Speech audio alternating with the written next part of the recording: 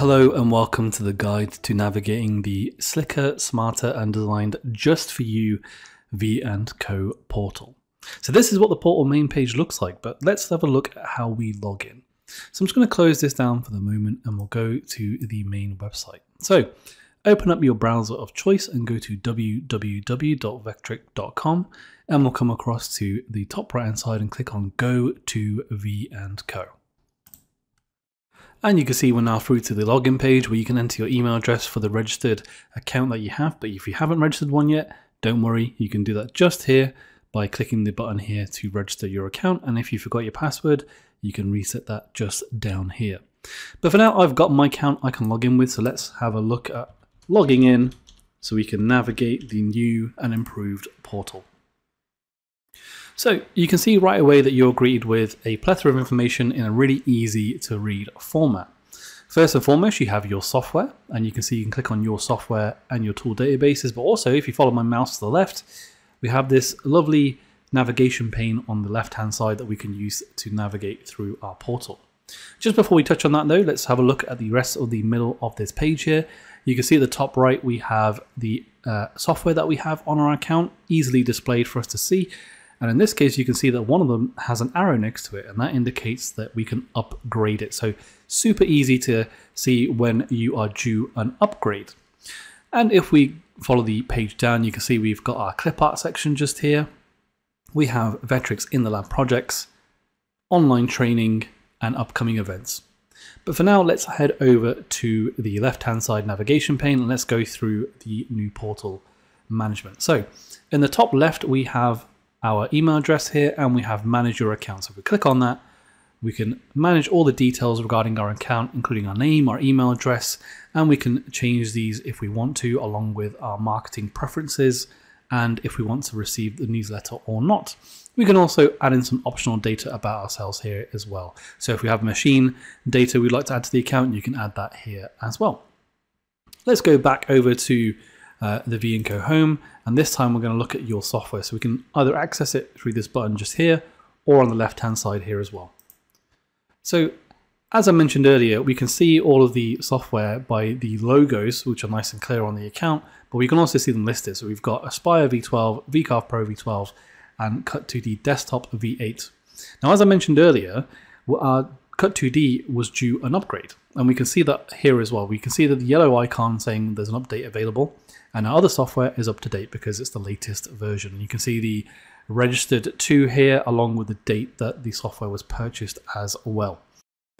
Now let's have a look at our Cut2D desktop here. So if we go over to click for details, you can see when I expand this, we can see all the available information about our license here, and we can press this button just here to copy this license information. So we will copy it to the clipboard.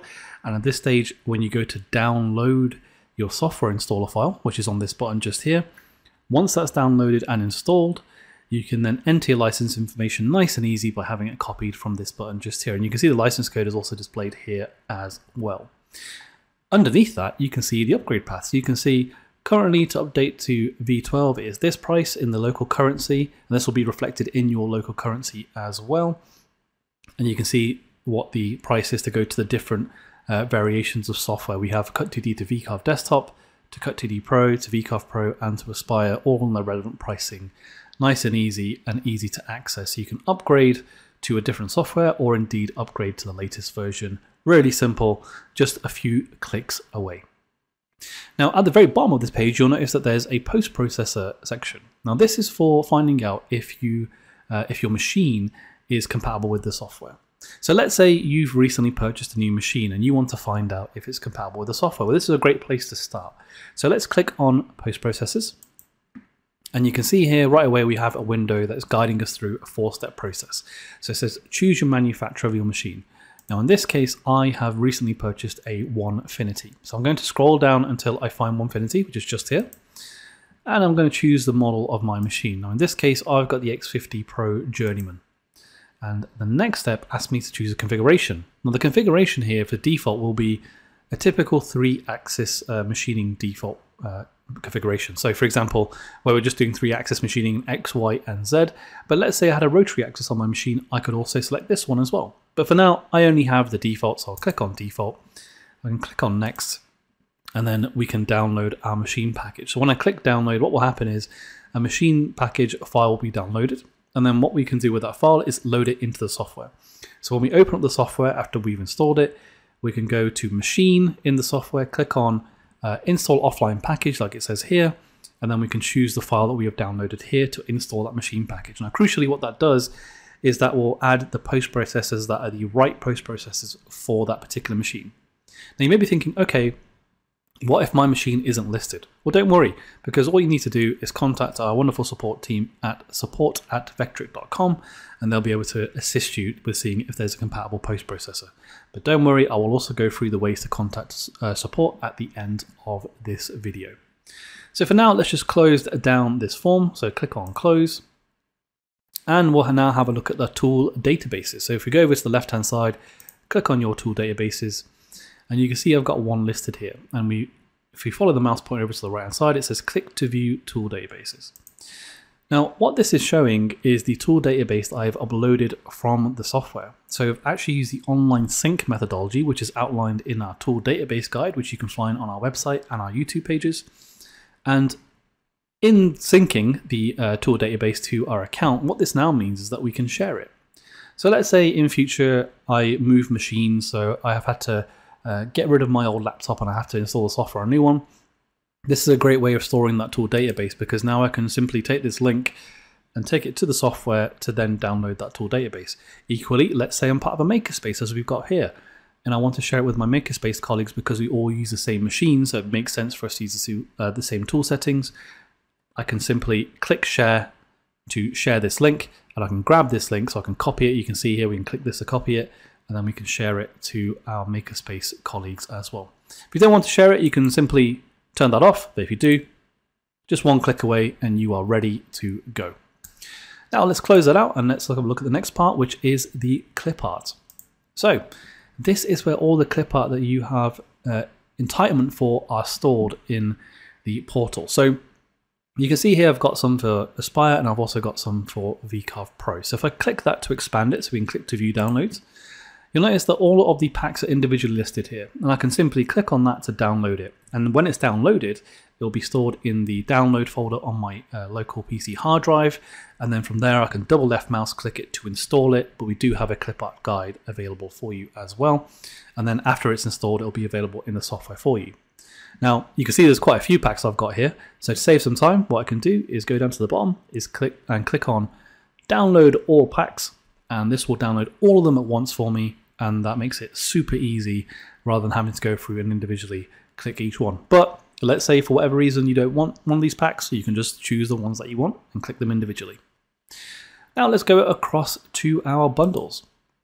So you can see here I have several bundles. Now these are packs that are purchased uh, with an event. You can see here I've got the user group uh, event bundle from 2022, 2023 and 2024. So let's have a look at these in further detail. Let's see what you get with these. So let's go over to more details, click on that.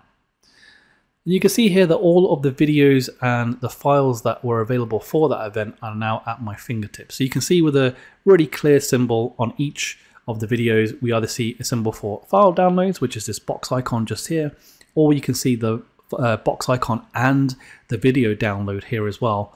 Uh, for example, we can see the Too Soon for Christmas with Todd. You can download the video file as well. So really easy place uh, to find all of your past uh, event bundles uh, all ready for you to have a look at again. And then if we move down to events, this is where you can find all the events that you have either already attended or you're going to attend. You'll notice that these are all grayed out, and that's because I've already attended these events. So these were in the past.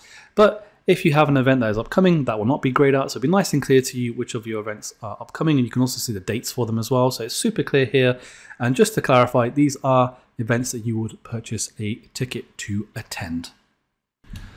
Now, earlier on, I did go through uh, that we would be touching on how to contact support, but in contacting support, there's also another element, which is training.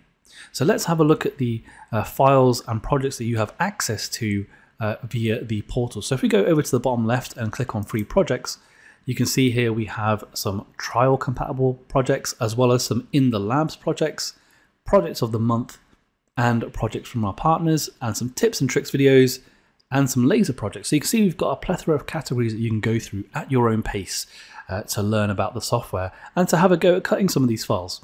And what's really handy is that each one of them comes with a logo to indicate which software it's compatible with. So if you're ever unsure, you can always check in your software to see which one you have, and then you can line that up with the logo that we have here for each of the software to tell you if it's compatible. So for example, you can see this Stahl one is compatible with all the software. So you've got Cut2D Desktop, Cut2D Pro, VCarve Desktop, VCarve Pro, and Aspire.